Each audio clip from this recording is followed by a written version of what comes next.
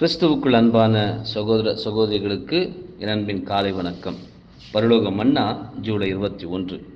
இதற்காகவே இந்த உலகத்தில் வந்தேன். சத்தியவான் எவனும் என் சத்தம் கேட்கிறான்? யோவான் பதினெட்டு முப்பத்தி ஏழு. நம் இரட்சகர் சத்தியத்தின் மேல் கொண்டிருந்த விசுவாசமே சாத்தானால் குருடராக்கப்பட்டவர்கள் அவர் பேரில் பொறாமை கொள்ள செய்தது.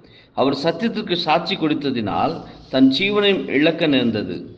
இதே போல அவரை பின்பற்றும் ஒவ்வொருவரும் சத்தியத்திற்காக சாட்சி கொடுக்க வேண்டியவர்களாகவே அழைக்கப்பட்டுள்ளனர். தேவனையும் அவர் திட்டங்களையும் குறித்து சாட்சி சொல்பவர்கள் கிறிஸ்துவைப் போல தங்களை ஜீவ பலியாக ஒப்பு கொடுத்து அது பசுத்தமுள்ள பலியாக தேவனால் அங்கீகரிக்கப்பட வேண்டும்.